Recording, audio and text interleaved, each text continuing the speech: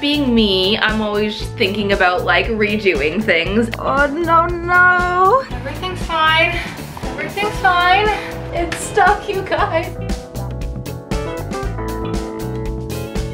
Hi guys, welcome back to my home and welcome back to another episode of my DIY diaries. These videos are basically just a look at the different things I do around my home, upcycling, DIY. It's a constant journey. But before we get into what today's video is, I would love if you would give this channel subscribe. We have this serious goal to reach 2 million before our 10 year anniversary, which is like seriously in a couple months. And yeah, you heard that right.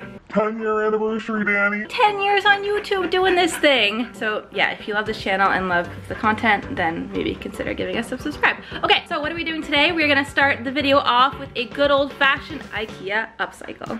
All right, let's talk about my TV media unit. This is probably one of Are you coming here? This is probably one of, if I have to think about it, one of the oldest pieces of furniture that I own.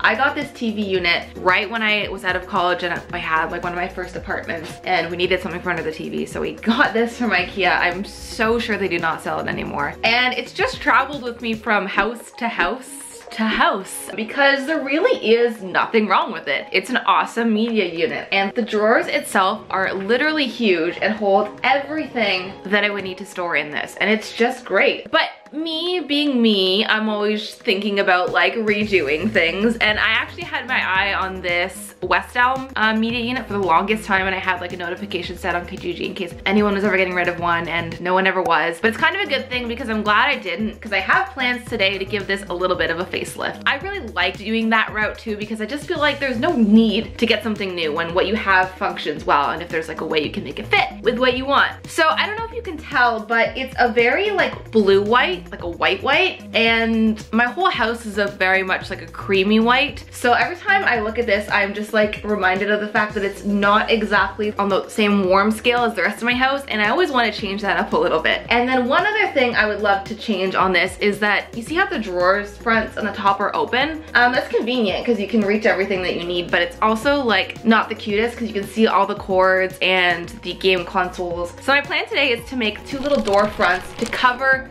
up these top little spaces and then give it a coat of paint that will make it a little bit more of a warmer color. Um, have I talked about this enough? Yes, you get it. Oh, one more thing. I have a very embarrassing like cord tangle mess behind the TV. My first goal before I even start to refinish this is to just clean up behind it. I have these little Velcro cord gatherers, bundling ties. That's a much better way of saying that than cord gatherers. and I also bought the world's most obnoxiously big power bar off of Amazon. Oh man, are you guys ready for this? Oh no, no. It's so bad. It's so bad. Oh no, no. You don't care. Sometimes I do. All right, check it out. Okay, it probably still looks a little bit crazy, but this is organized chaos to me. It's so much better than how we started and everything has a spot. And I know it looks like a lot of cords, but I'm not that worried about them all being into one plug because most of them are things that would never run at the same time as each other. Like you would never have the Xbox on and the Switch, like it wouldn't happen. it's a lot of things to get things to work, but uh, I'm, I'm happy with how it's working out. So the next thing to tackle is the drawer fronts for the open spaces. So I want to do the covers here out of like a wood frame with cane webbing in the middle. First step is using some thin wood like this to create little frames to go in the openings and then we can cover the gap in the middle with the cane. They're gonna be two separate drawer fronts that go over top of the opening and then the wood is gonna be what makes up the edge. The cane is going to go in the middle and then on the inside, we're gonna do two little like hinges here so it can open. And while I have this drawing up here on the iPad anyways, I might as well just do my measurements and then write it on here so that I don't forget. I am queen of writing measurements on paper and then not understanding my own measurements later because it's just a bunch of numbers. I need to like associate it with a photo for my brain to work. So after doing some thinking, I realized that the pieces of wood I had were a bit too wide, and if I had used them the way they were, then too much of the drawer front would be wood and not enough of the cane would show, which is not ideal. So I cut them all in half to make little mini pieces of wood. Are you impressed? Actually, extremely impressed. It's working. That's way straighter than I thought it would ever be. I think you are more talented than I am. Speaking to the microphone when you say that. And then after that, I just cut all the pieces down to size so that I had my long pieces and my short pieces. Okay, it's the next day and I have all of the pieces cut. As you can see, they're now, well, the pieces used to be this wide and now they are this wide because I cut them in half. So I've got the length pieces and the width pieces. So now it's time to assemble them and make the rectangular drawer front pieces. So this is really easy. I'm just gonna do it with some wood glue. And actually, the coolest product ever that I picked up a while ago. These are clamps, but they're 90 degree angle clamps. So they hold anything like at a proper 90 degree angle so it can dry. And they were like $5. I just can't believe that I didn't own any of these. These are a game changer. The clamp literally just holds it at a perfect angle. It's wild. So I'm gonna add some wood glue in and then let it dry.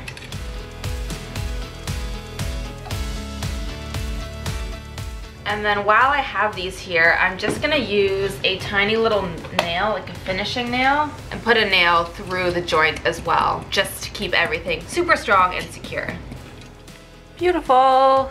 Okay, so I've also got these little trim pieces. They're like pretty thin. I didn't use them to actually build the shelf front because I didn't have long enough ones to go the whole distance. The reason I'm using these little tiny ones is because this is the drawer front and then I'm gonna put cane weaving here and then it's nice to have something on the back to sandwich the cane weaving in place so that it doesn't fray over time and it just really holds it in place. I guess my next step is gonna be taking this cane weaving that I have. I ordered this off Etsy because the normal one that we get from Amazon wasn't long enough. It came in like a square. So I had to get a custom one off, it, off of Etsy, which I'll link the shop below. So I'm gonna cut a piece that's big enough to fit in here and then I'll use my tiny little trim to kind of sandwich it in place.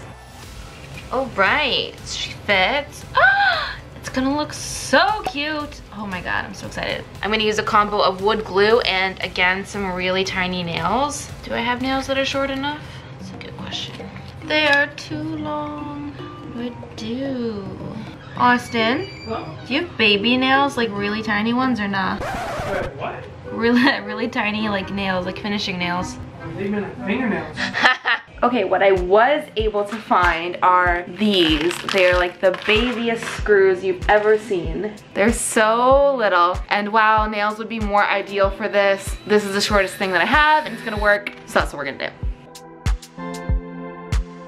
Hello, the next day. It looks so good. My original plan was to put hinges on the bottom so that the drawer fronts could like sit open like this if they needed to. Due to like the way that there was like a lip here, um, the hinges I had wouldn't allow the drawer to open all the way. So we had to do it this way where they now kind of swing open like this. I know it's a little like tedious because they're such big drawers, but whatever. I feel like they're not actually gonna get opened that often. So my only ish now, I guess let me give you a close up, hold on. So these these are the little hinges in here. They're just tiny little one inch ones from the hardware store and I screwed it into the door and then into the actual unit itself. But now they swing shut and they are beautiful. They fit together, open, close, all that jazz and they line up and I'm so happy with how this is turning out, you guys. I got a little bit down on myself when I realized that I couldn't have them open the way I wanted to before and I was like, is this even gonna work? I spent all these hours on it and now I don't know, but I kind of know again. I found my groove.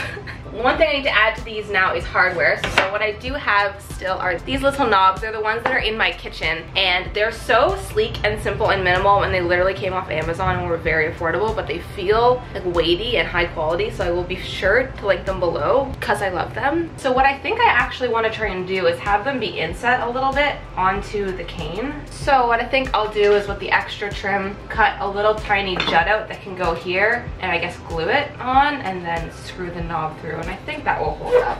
Because the hole in the cane is already there, I should just pick one of the holes to make the hole for the knob to go in, even though it's not exactly the center. Okay, we are ready to paint and I like to use chalk paint because it's just really, it sticks to furniture really well. But you have to get it in like a certain set of colors or at least for the bare kind you do. And I feel like I don't want to do white because I'd love to do something that matches the cane maybe a little bit better. And the next best thing is this, but I'm worried this is gonna look yellow. I think I'm just gonna go for it. We'll do the pale moon and I really just hope it's not yellow looking.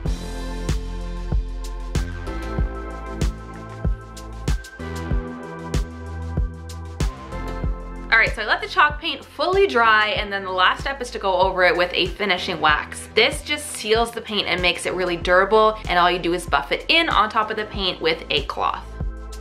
All right, the TV media unit is finished and as you can tell, it came out to be just like a straight up true cream color. I don't know why I thought it'd be a little darker and a little more yellow, but it's, it's just a very creamy cream. but I do love how it turned out. I think it complements the color of the cane really nicely. So all I need to do is put it back together and restyle it and show you the finished product.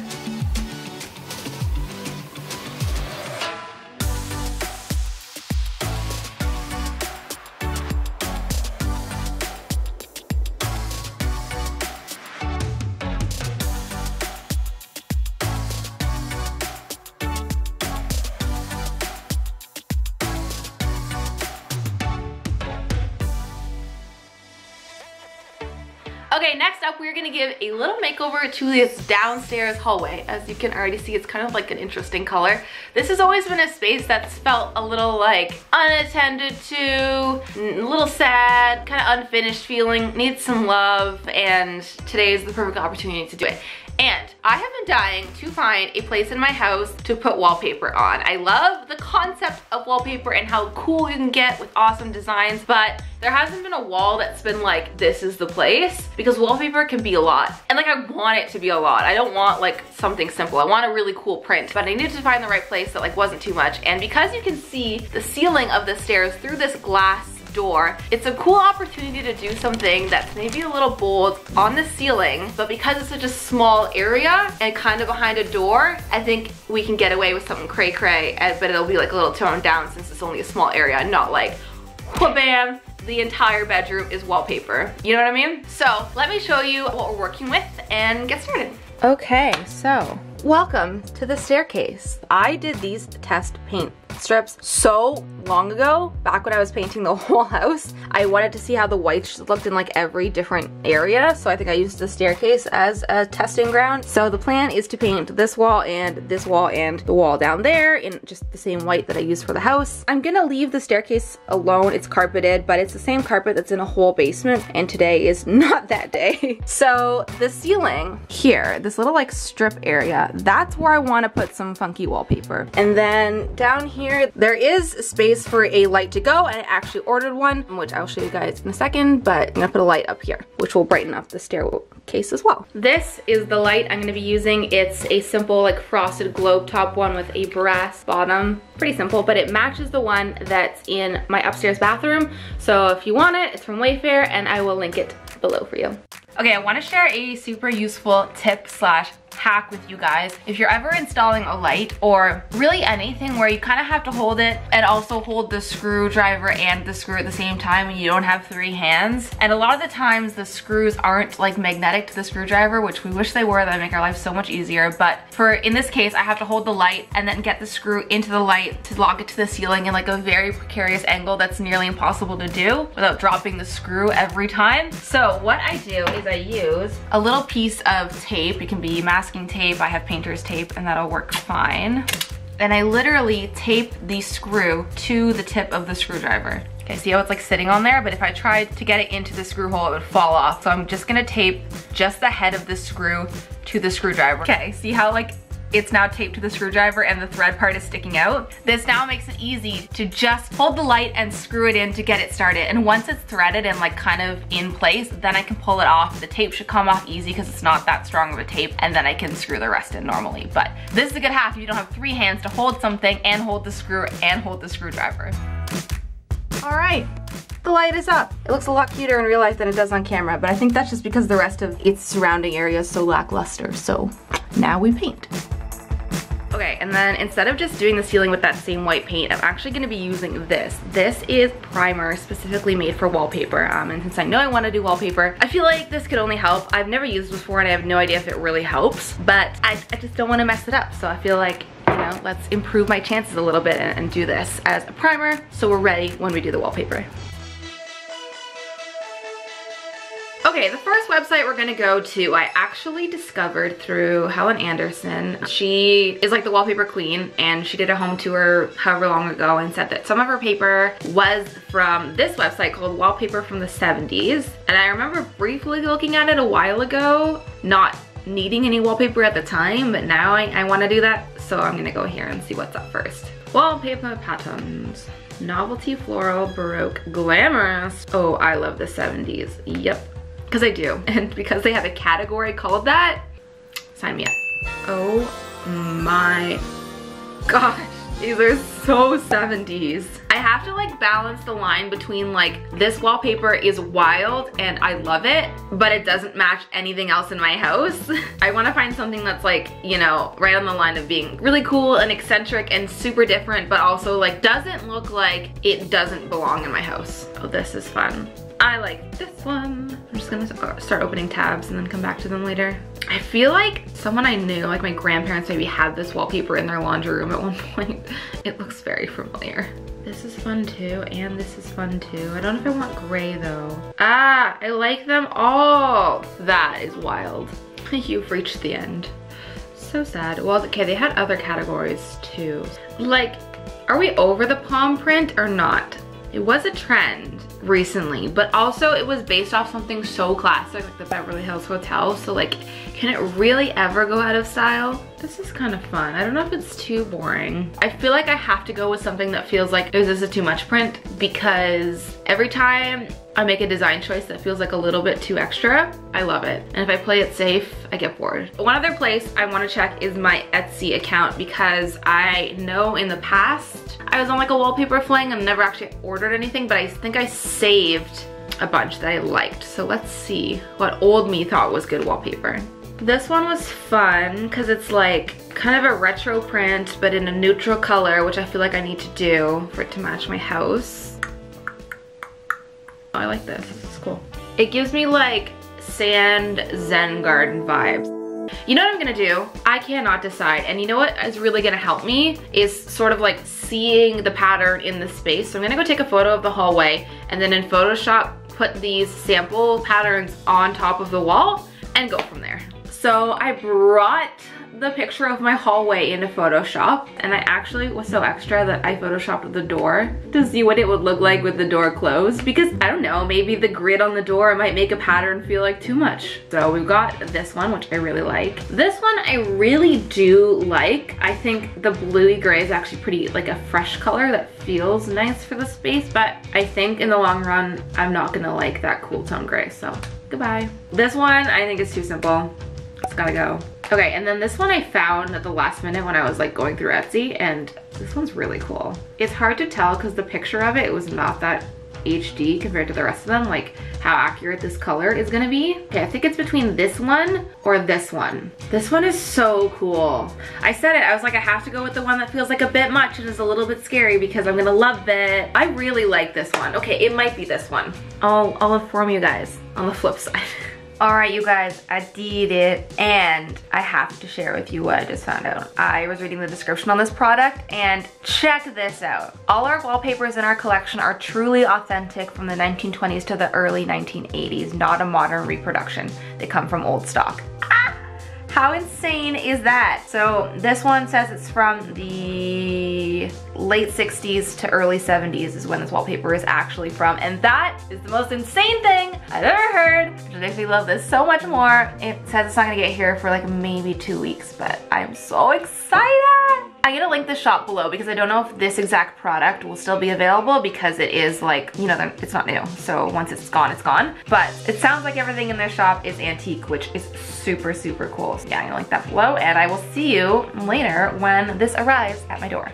Today is an exciting day, everybody, because the wallpaper finally came and it's so beautiful in real life. It is more texture than I could tell online, which is okay. I'm hoping that doesn't make it more difficult to apply. And we see it's like a little bit like 3D. So um, a little backstory on wallpaper if you don't know. Aside from the kind of more new age wallpaper that is vinyl, peel and stick, which essentially are giant stickers, traditional wallpaper comes in pre-pasted and not pre-pasted. Pre-pasted has a layer of dried glue on the back, which when you get it wet, it becomes wet glue and it's already done, you just stick it to the wall. Non-pre-pasted is basically just paper, dry paper, and you need to apply glue yourself to the back, which is a little bit more of a messy um, deal, but it's okay, we're gonna make it work. I will say I'm a little, a little cautious because I'm not the most experienced on applying wallpaper. I know it can be difficult, and especially this, because it's actually antique. I can't get any more of it. The listing's gone because I bought it, so if I mess it up, I'm not even gonna put that in the universe because I'm not going to. So let's get to putting this up. Okay, before we get out the glue and all of that, the first step is gonna be rolling this out and cutting out the pieces I need and making sure they're gonna line up to each other properly. I'm gonna use some painter's tape and just really loosely tape this into place to get the two pieces rough that um, I'm gonna use. Oh my god, you guys, this is so beautiful! I love this so much. If only it was that easy. Okay, I've got them both temporarily stuck up there with some tape. Um, the spacing's not 100%, obviously it needs to get moved this way to fill that gap, and then they're gonna need to get separated like this way, and I'll have to trim some off the side once it's actually up there. But I just wanted to do this to make sure that the dots actually line up, and as you can see on the two panels, like every line, the dots will line up perfectly and that's what matters so I've got the two pieces long enough and they're gonna match so now we can get to gluing Okay, I set up our DIY table that's usually just outside in here so I had a good big surface to work on. And this is the glue. It's kind of gross and like clear jelly looking. Okay, once you have the whole tabletop covered in the glue paste, you have to fold it so that the paper can just chill for a sec, absorb all the glue, get all its wrinkles out, and just kind of like mellow, you know? Okay, I let it sit. Been about five, seven minutes, and I think it's good to go up on the ceiling. This is where the real work comes in. All these steps before, we were just playing games. Now we're doing real sports. I don't know, does that analogy make sense?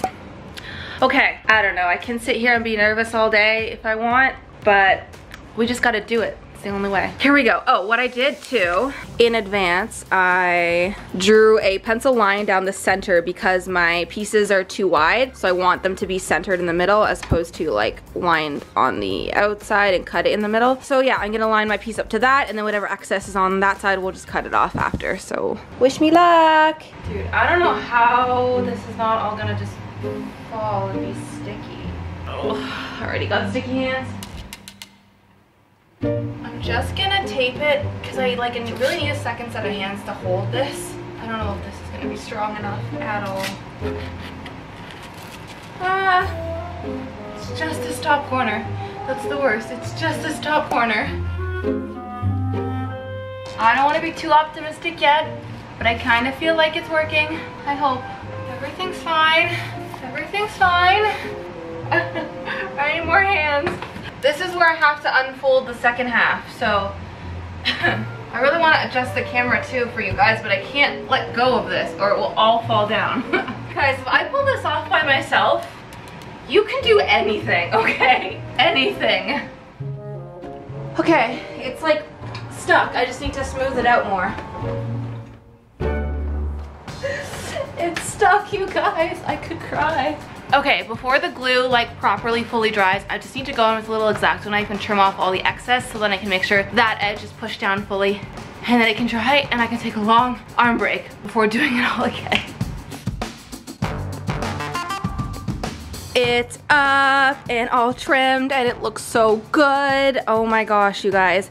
It's not like 100% flawless. There's some spaces like here you can see like the cutting wasn't that even. It was really hard to cut, I'll be honest. I don't know if I was doing something wrong, but I think in the future I can always go grab a paint that's like this beige and just fill in any little gaps where it kind of ripped like here you can see it's not cut the best, but you know what? If you stand far back, you would not notice at all. And I think it's so beautiful. So now I'm just gonna repeat that whole process again on this side.